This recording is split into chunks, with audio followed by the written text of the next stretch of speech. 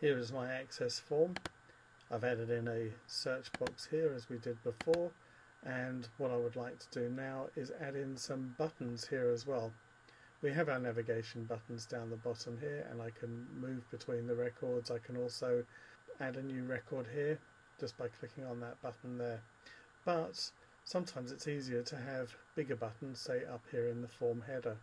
You might want to do that because it'll be easier to click on and also you might actually find that other people are using the database, they've never really used Access before, they're not familiar with these buttons, so we can actually create buttons that make it a lot easier. So I'm going to add in initially just two very quick buttons here to add and delete records, and then I'm actually going to put in some additional navigation buttons here. A lot of this is all done through a wizard, and I can just click on my design view here, which takes me into my form design. Here is my toolbox. You can see here is my form header. There's the combo box that I added. And what I'm going to do is just click on this command button here. I need to make sure that that control wizard is switched on. You can tell it's switched on. That's off. That's on. Because what it's going to do is start the wizard that will create this button. So I'm just going to click there.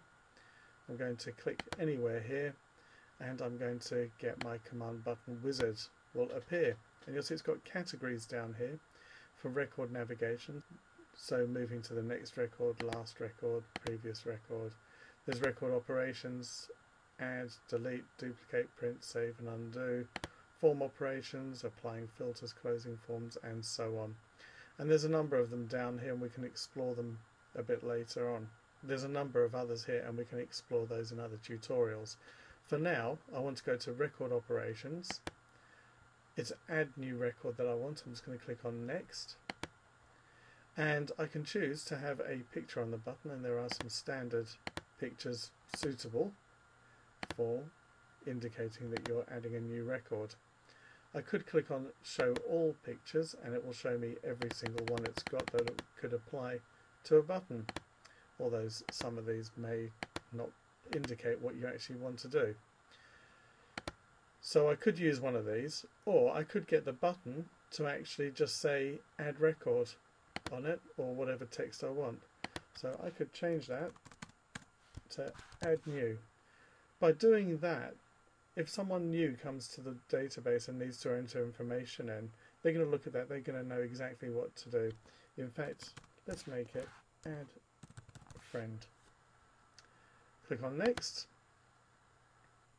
we can give this a name, and it's not something that you generally see, but it's used mainly for sorting out the tab order and perhaps later if you need to adjust things such as the programming that goes behind this button. So I'm going to call it command, CMD for short, that's pretty standard. Add, add friend. If I click on finish, you'll see it's popped that button here. I can change the size of it, so I can make it taller as well. So I can pop that there. I can now add another button. I'm going to do one for delete.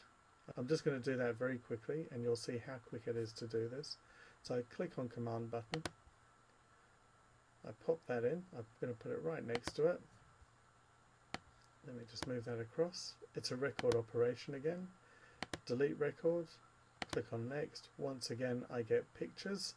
I'm going to choose delete, I'm going to just say delete there, hit next, call it command, delete, and hit finish. There's my button.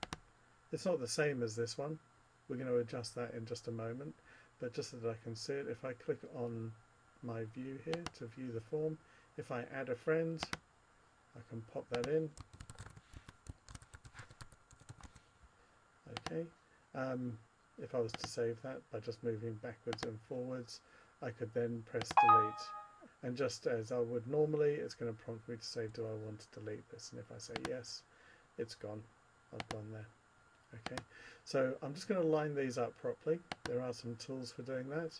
I'm going to highlight them just by clicking and dragging, like drawing a line through them. They're both now selected. I'm now going to go into Format choose align. I'm going to align both of them to the top, so it's going to align it to the top of add friend because that's the highest one there. I want to make them the same width and I want to make them the same height and I'm going to make it so the same height as add friend which is the widest of these two this is also the tallest of these two so I'm going to do that too so again I'm going to go to format size to tallest and you'll see delete is now the same height as add friend I'm going to go back to format size and to widest so it's going to make them both equally wide and if I press save and go back to my form view you'll see both of those in there now look the same. Very quickly I'm just going to add in the navigation buttons, I'm just going to add in one so that you can see how it's done again. Choose command button, click here and I get my command button wizard again. I'm just going to click on go to next, hit next. Now these buttons are a little bit more obvious sort of indicating that they're moving along and making these ones down the bottom here a little bit redundant. They still work, you can get rid of that navigation bar and leave those there, but you can see that does make it a little bit more obvious so people aren't looking around where is that button. So that is adding buttons to an access form. Press save and I've got some extra buttons on here and I can add a few more in